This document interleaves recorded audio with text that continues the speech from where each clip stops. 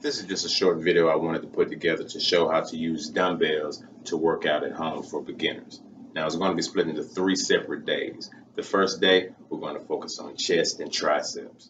On the second day we're going to focus on working back and biceps. And on the third day we're going to focus on working legs and shoulders, all using the dumbbells and the only other equipment you'll need is a floor mat for the floor exercise. Okay, this is day one, so we're going to focus on using the dumbbells to work chest and triceps. Okay, first thing you're going to do, get on the ground, legs at a 90 degree angle, back to the ground. You're going to lift up the dumbbells, and you're going to push all the way up. Remember to contract at the top. Go all the way down slowly making sure that you control the downward momentum and repeat. Control the downward momentum, contract at the top, and control the downward momentum towards the bottom. Okay, our second exercise is the tricep extension. I want you to bend over. I want you, while you're holding the, the one dumbbell in one arm, I want you to kick it back until you feel the contraction. When you kick it back, you hold it, you bring it back slow, like so. Hold. Third exercise is the extended alternate bench press. Now with this, what I want you to do, get in the same position as you did with the bench press.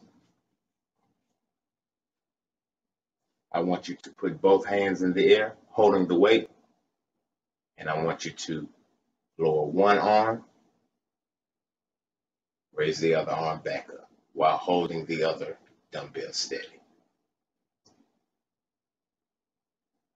Once you do both hands, that is one rep. Okay, this fourth exercise is called the dumbbell crossover. I want you to take the dumbbells with your palms facing away from you. Lay on your back like you're going to do the bench press. Push one arm up. Bring down.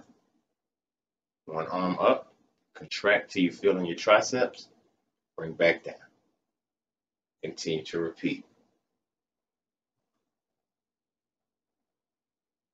This exercise is a tricep extension. I want you to grab the dumbbell like so. Put it behind your back. Raise it all the way up, contract. Bring it back down. The final exercise for today is a stability ball fly. So what I want you to do, get on your stability ball, put your back in the air, have it uh, on your lower back. Raise both dumbbells in the air in front of you, like so. I want you to come down, pausing, and go back up. Come down, hold, and come back up.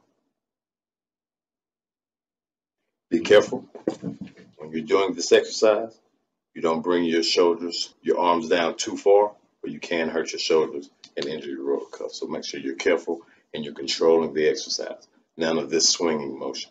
Control it the entire time.